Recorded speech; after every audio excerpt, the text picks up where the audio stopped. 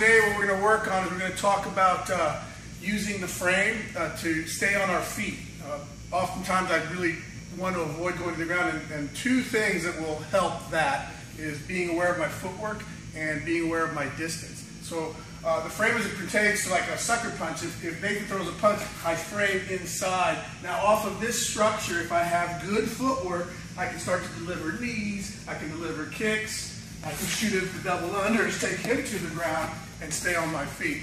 Uh, also, just someone rushing in, I'm going to frame the same thing. I get an inside clinch, and my frame is such, elbows pointed down, and I have good structure. If Nathan pushes, I just maintain, and I come off line.